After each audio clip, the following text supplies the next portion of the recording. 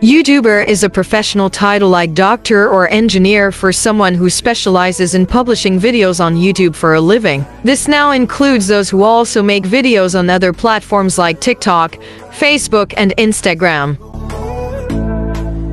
We have heard of clickbaiting, where someone uses a title or thumbnail suggesting what isn't in the video. Some persons are taking content creation to a rather bizarre level.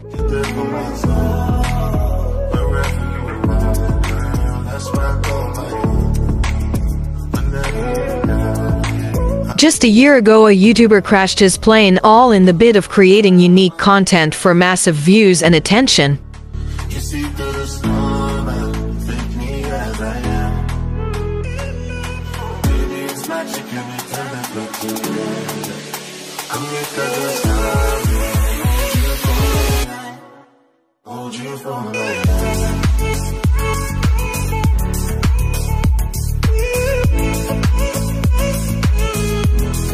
He got both and even one that he didn't desire. 20 years in prison. Yeah, you heard me right.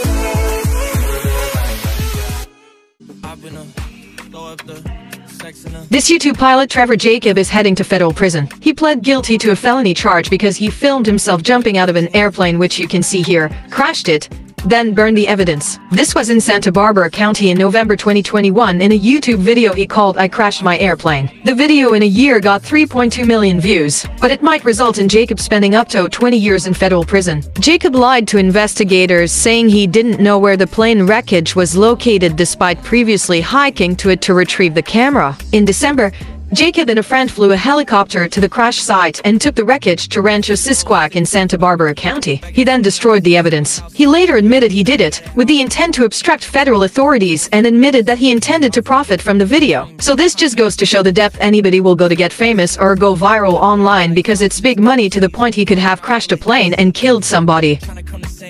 If you are new here, click the subscribe button and then the notification bell icon so you get notified immediately we publish more content like these. And if you are one of our returning subscribers, I appreciate you. Hit the like and share buttons to help others see this video. Thanks.